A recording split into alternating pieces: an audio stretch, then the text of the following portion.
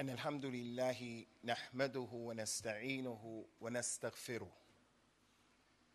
ونعوذ بالله من شرور أنفسنا ومن سيئات أعمالنا. من يهده الله فلا مضل له ومن يضلل فلا هادي له. وأشهد أن لا إله إلا الله وحده لا شريك له.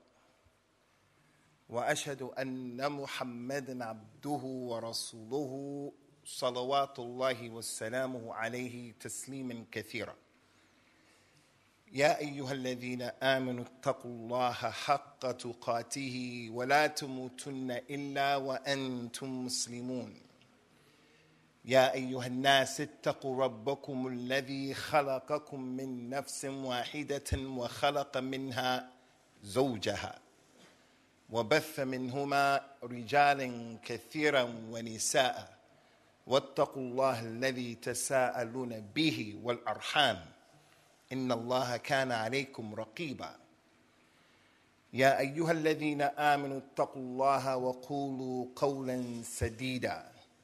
يصلح لكم أعمالكم ويغفر لكم ذنوبكم.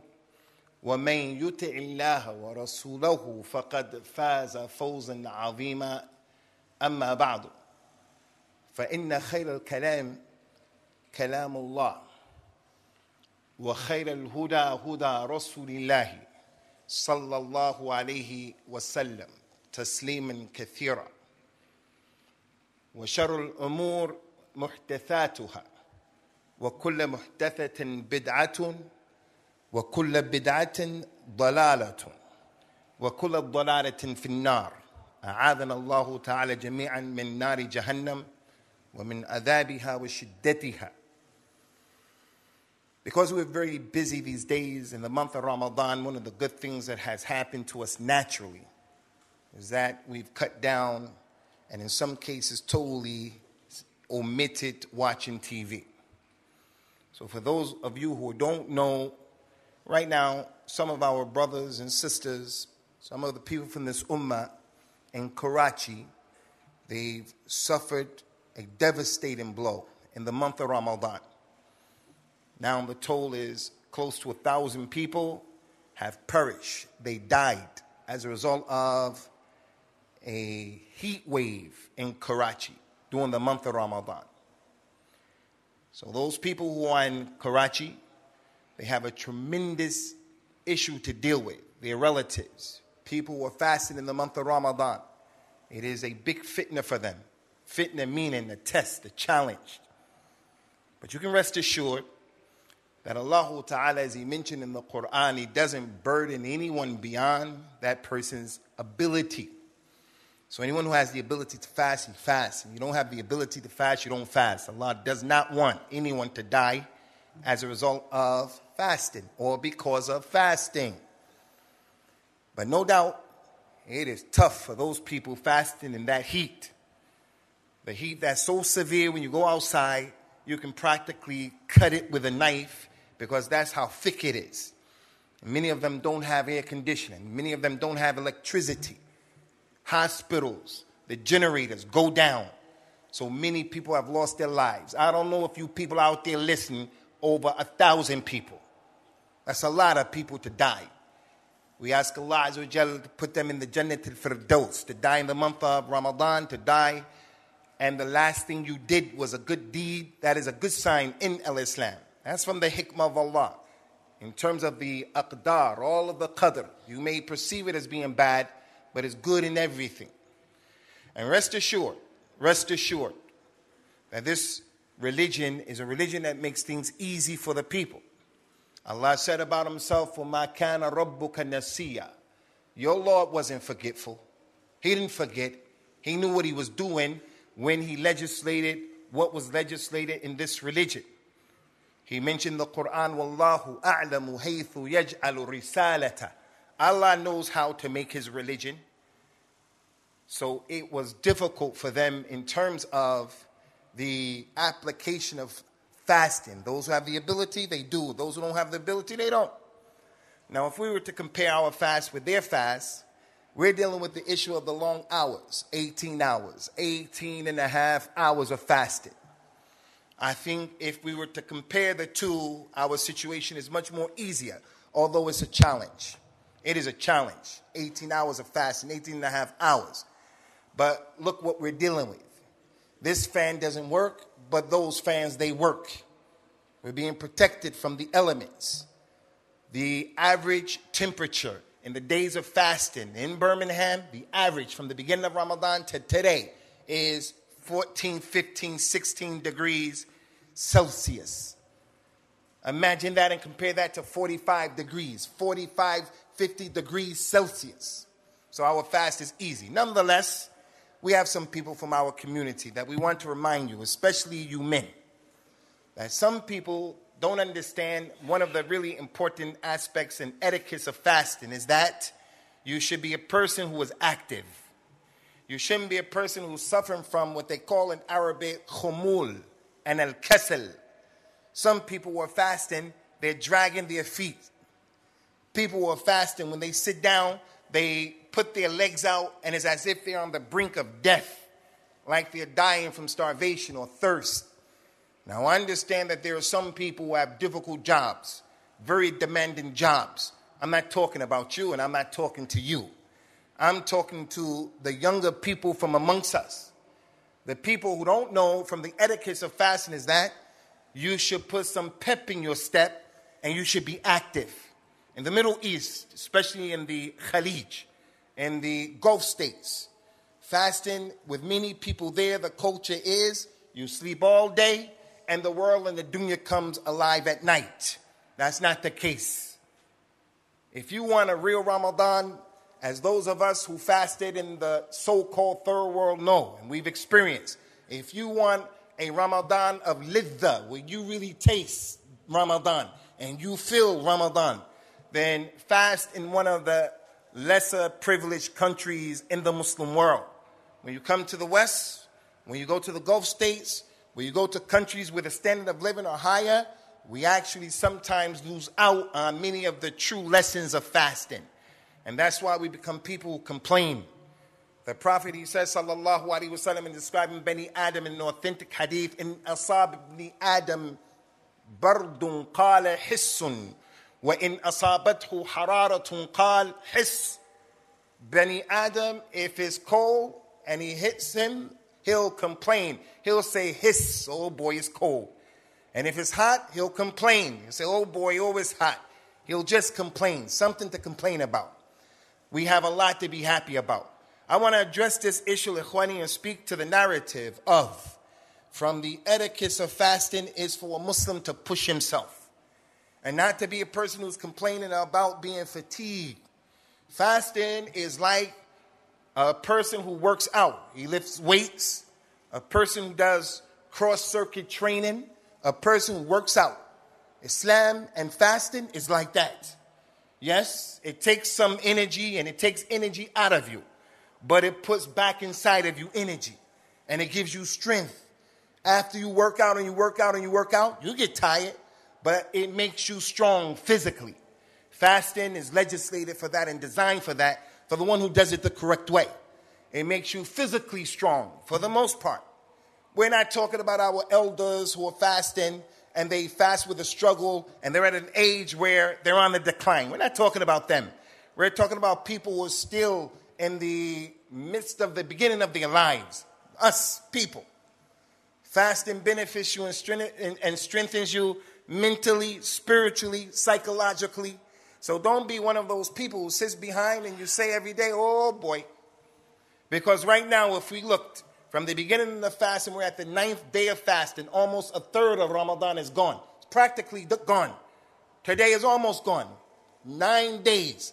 Most of us have not suffered from being hungry or from being thirsty.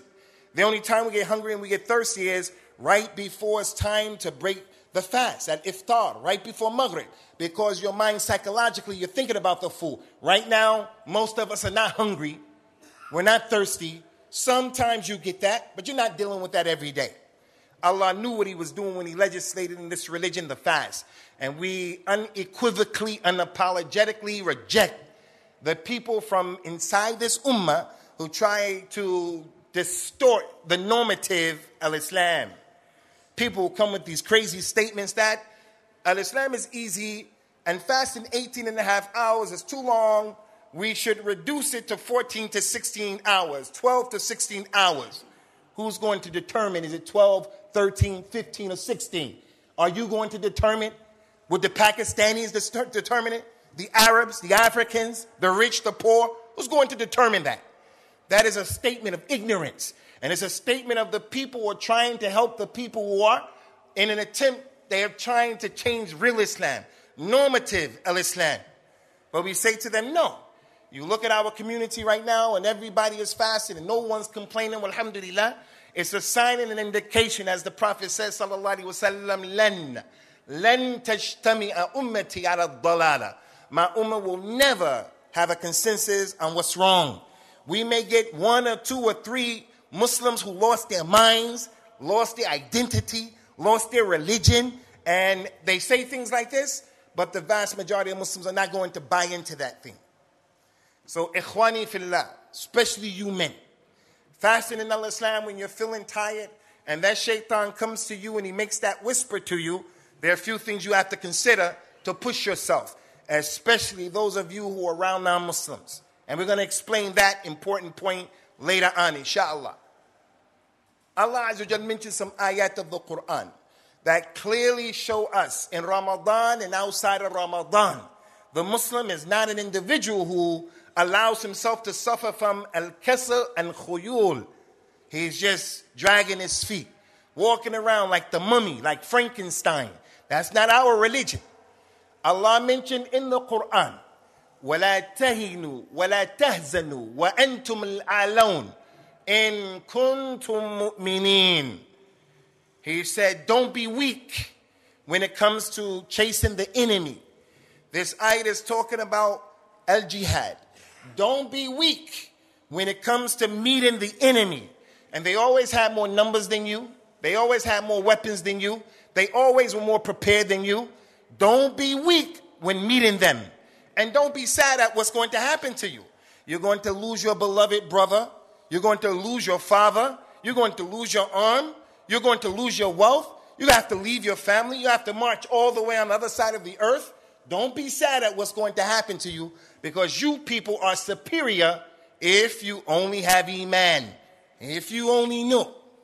Now that's the land of jihad. Here we are. We're not engaging any enemy other than the enemy of a shaitan and our own inner shayateen. That's the enemy that we're dealing with, the battlefield that we're dealing with here in Birmingham. We don't have to march anywhere. All we have to do is exist. Allah told the soldiers, don't be weak. What do you think is the case of the people who are not fighting don't be weak and don't walk around and don't listen to shaitan and drag your feet like that. Another ayah similar to it. Allah mentioned in the Quran, and He put forward this question. وكأي من نبي قاتل معه ربيون كثير فما وهنوا وما ضعفوا وما استكانوا فما وهنوا لما أصابهم في سبيل الله وما ضعفوا وما استكانوا Wallahu yuhibbu sabirin. The question. How many prophets of the past from Beni Israel? How many prophets of the past and the religious believers who had knowledge, the Rabbiyun who were with them, how many of them they did not become weak? They didn't become weak, nor did they become soft hearted, nor did they degrade themselves. They used to fight collectively in the cause of Allah. And the things that used to happen to them when they used to fight, they wouldn't allow themselves to be faint hearted. They wouldn't allow themselves to be weak. They wouldn't allow themselves to be degraded. Allah said, and He loves those people who are patient. Another ayah talking about the condition of the people in the land of jihad and that they're being afflicted and hit with calamities. And yet, their description was they were not weak. They didn't degrade themselves. They didn't walk around in a way where people looked at them and the people saw that they were lowly. Non Muslims looked at them and they were affected negatively or positively as it relates to the non Muslims because they looked at the way they were walking around and existed.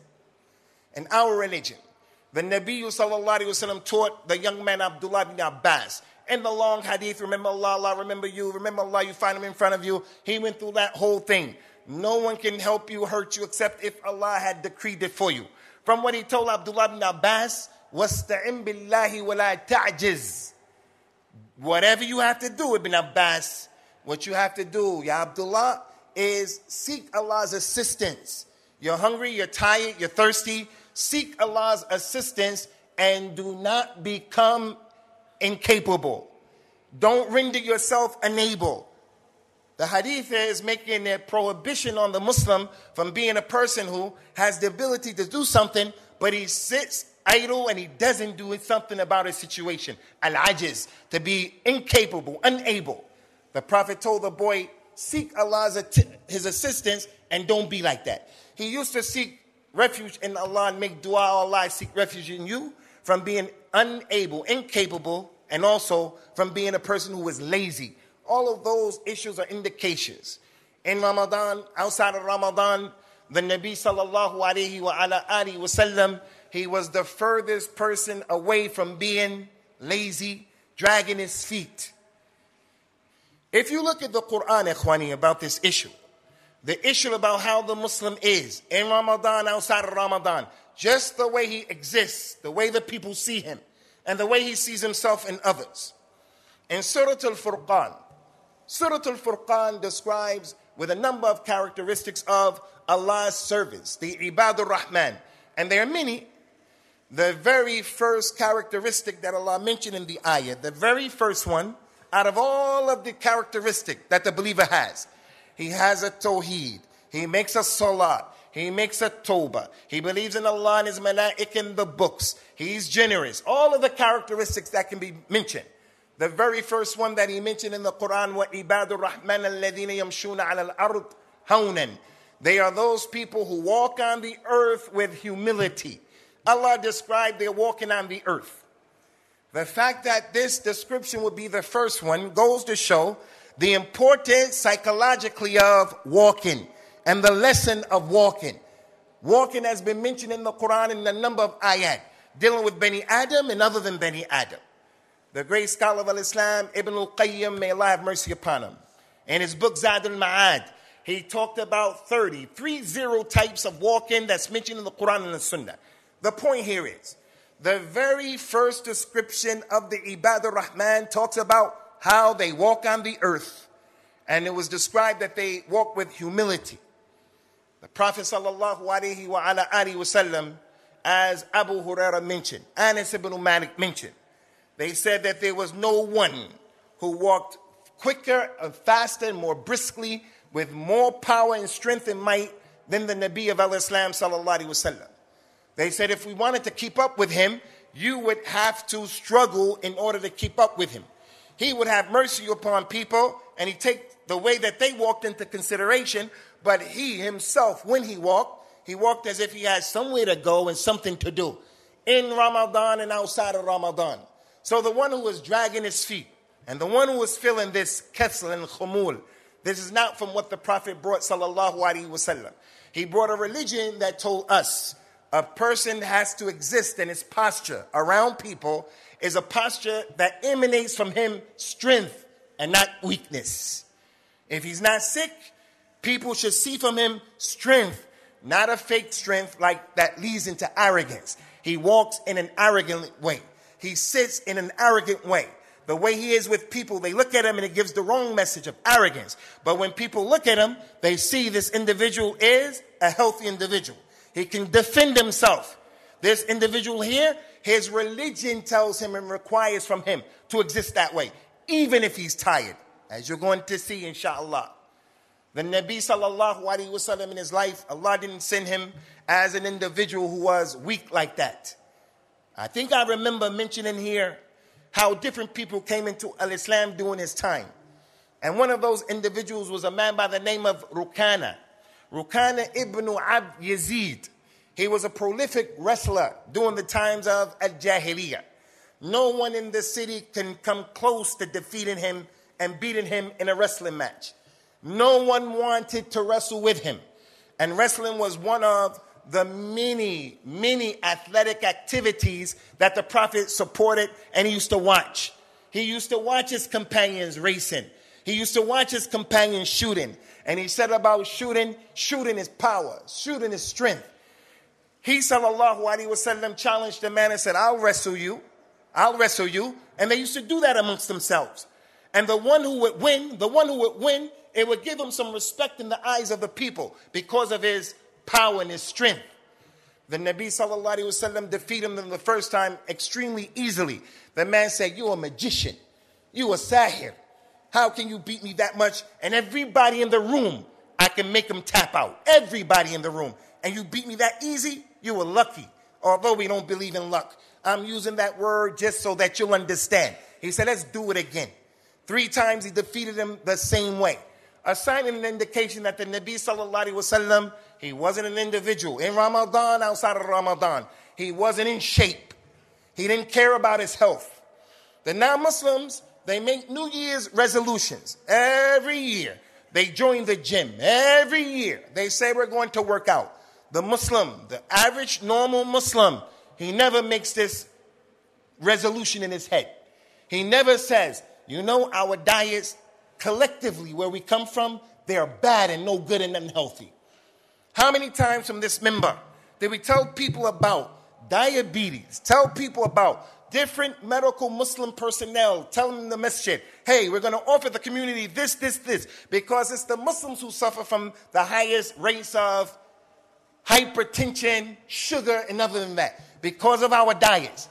Ramadan is a good opportunity for the Muslim to get disciplined, to change his diet, to come out of Ramadan, and to make a resolution not that resolution like the non Muslims, but you went through the whole month of Ramadan being disciplined. Now is the time to continue that. That's from the benefits of Ramadan.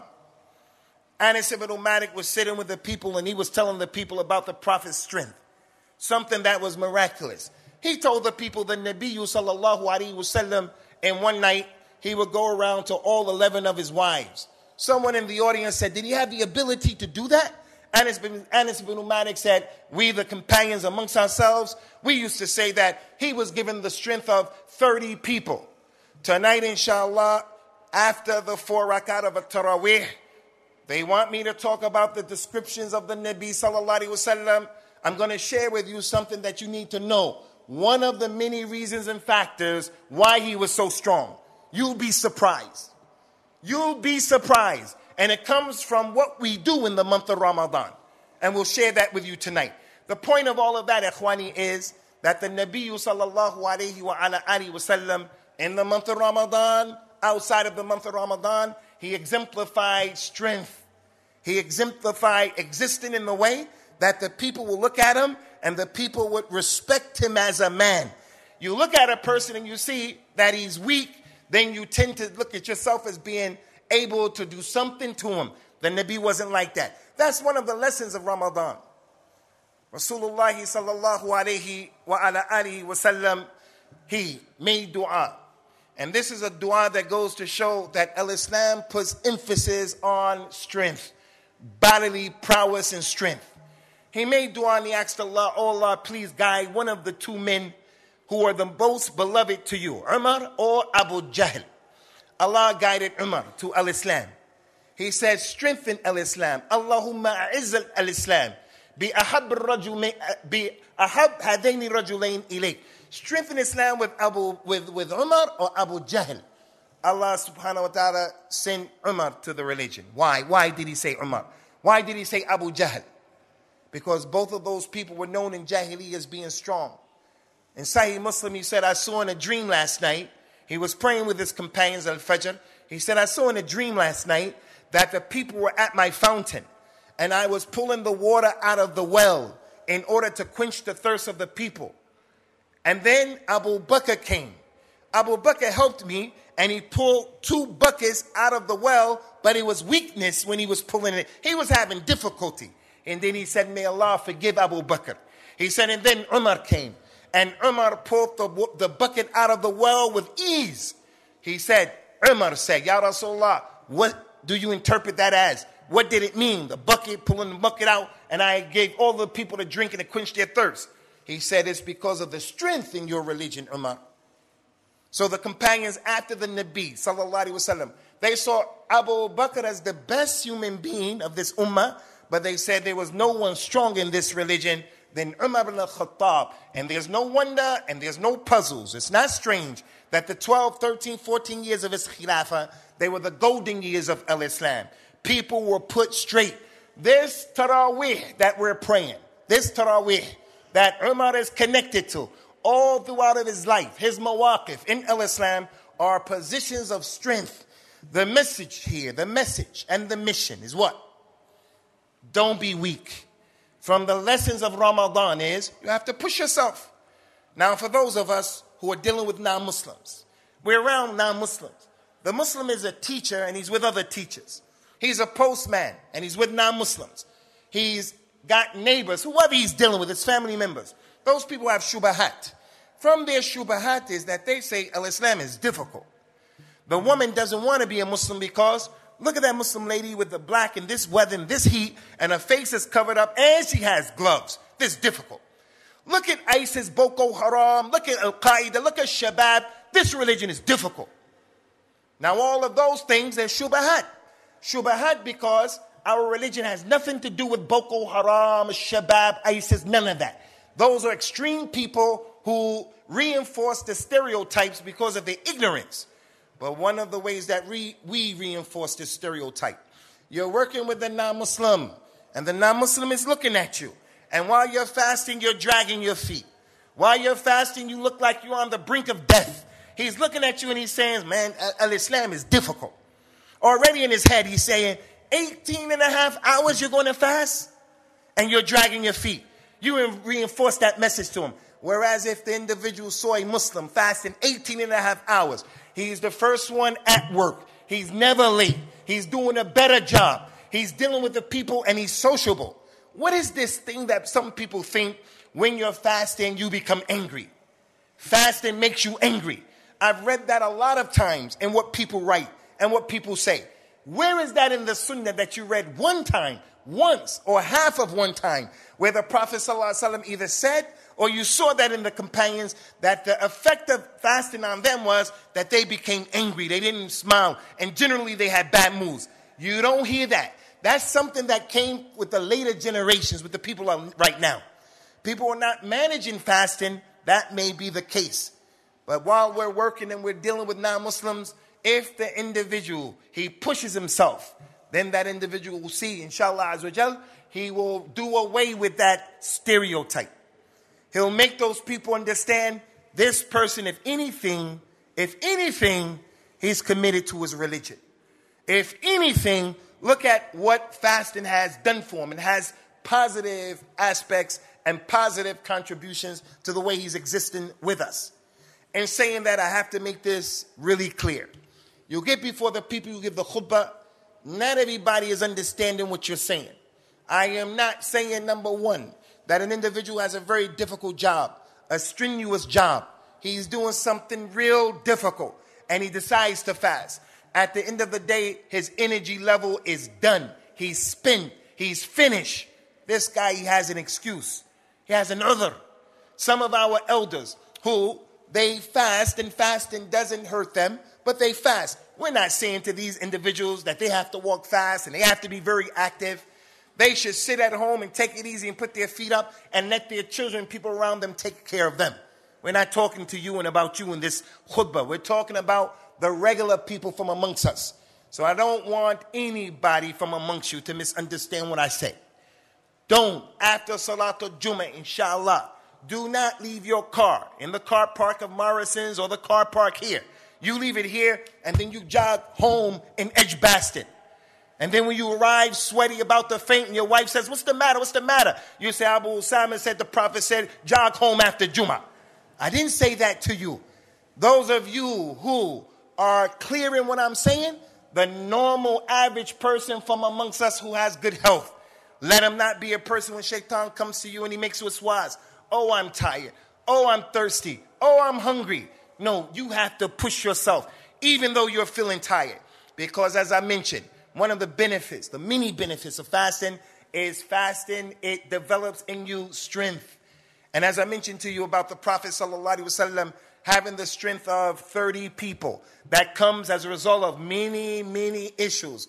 One of them, you're going to be surprised. One of them mentioned in the Quran. And it's a thing that you have to do in the month of Ramadan. أقول قولي هذا واستغفر الله لي ولكم ونسأل الله التوفيق والسداد.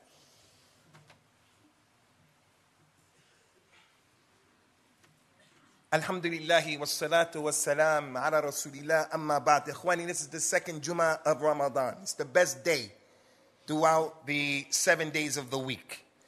So this is the day that when we are trying to get the hunt and we're trying to get the game, like the 20th, 7th, 27th of Ramadan, or what we think is Laylatul Qadr, we up our game and we try not to miss Laylatul Qadr. This is a day where a person has to up his game because it's Friday.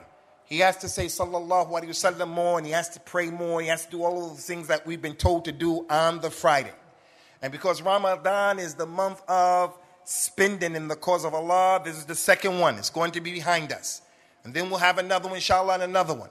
And then all four of them will be gone. All of them will be gone. I want to encourage you and I want to ask you to please give for yourselves first and foremost, and then for Al Islam fi sabilillah. Very quickly, I want to share something with you about our imam. When I came out of the room over there to come out, I saw our imam sitting back there about to pray two rakah. I said, Come, come in the front. I need you in the front. I need you to sit in the front to practice the sunnah. And he likes to sit back there so he could just listen and have no responsibility. Just cool out and get the dhikr. I could see he wasn't going to do it. I said, I ask you by Allah. Without anything else, he just went. It was as if I controlled him. He was holding my hand like he didn't want to come. I said, I ask you by Allah. And he just became my, my asir. And that's because the Prophet ﷺ said, if someone asks you by Allah, then you should do it. Now, I'm not trying to take advantage of anybody here. I'm just trying to get some good deeds for myself in the month of Ramadan. I'm being greedy and I'm being aggressive. And also, I'm trying to help Al Islam. I'm asking all of you by Allah by Allah that you give and you donate generously from what you have the ability to do. I'm not asking you again to go beyond your ability and what you don't have the ability to do. But for your own selves and for Al Islam, give today because it is the second day, the second Friday of Ramadan, and it is an auspicious, illustrious, beneficial day. We ask Allah Ta'ala to accept from us in this first third of Ramadan all of our good deeds and to forgive us for the mistakes that we made and that He gives us the wherewithal and the ability to continue on the path that we've been doing, more good deeds for the days to come, inshallah. And may Allah Ta'ala have mercy upon those people who died from the Muslims in these days, previously to these days, and may He make it easy for all of them who need His help and His assistance. أقم الصلاة يرحمكم الله